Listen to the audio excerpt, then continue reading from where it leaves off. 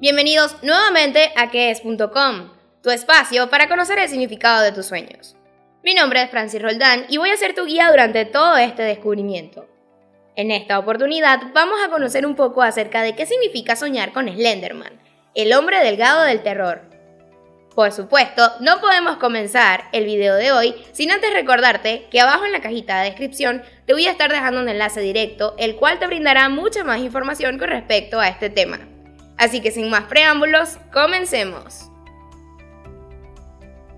El mundo del creepypasta suele ser bastante extenso debido a la inmensa cantidad de relatos que existen y de cómo monstruos de pesadilla cobran vida para hacer pasar malos ratos a las personas.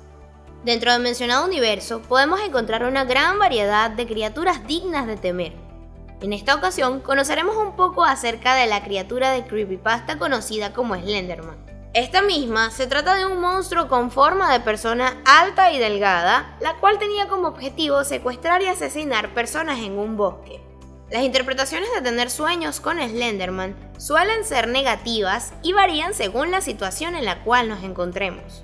Ahora bien, esta criatura del mundo del creepypasta suele representarse e infundir miedo a casi cualquier persona que tenía que observarla dentro del plano onírico adquiere un significado negativo y en relación con los propios sentimientos.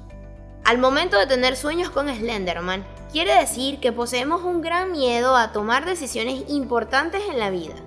Nos dejamos influenciar con facilidad de las personas que solo buscan desequilibrarnos y hacer que fallemos en lo que de verdad queremos. Slenderman suele representar desesperación y terror al afrontar los problemas que se presentan puesto que mencionada criatura se encuentra en el bosque y causa miedo al acercarse a sus víctimas. Lo más recomendable en estas situaciones es pedir ayuda de los propios familiares o amigos, puesto que tener miedo a los problemas es algo muy normal y que debe ser superado con mucha valentía. Cabe destacar que observar a Slenderman en el plano onírico posee relación con un sueño en el que te pierdes en un bosque. La razón de ello es que este es el lugar donde este monstruo ataca a toda persona.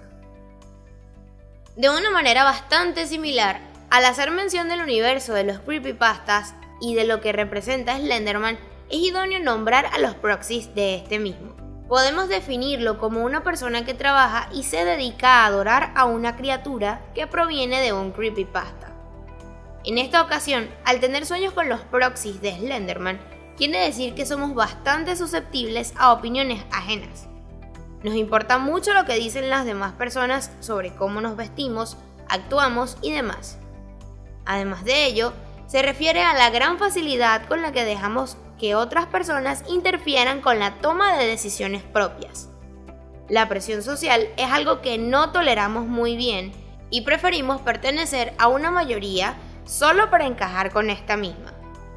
Esto se justifica debido a que los proxies de Slenderman tienen una mentalidad muy débil y se dejan influenciar con facilidad por esta criatura.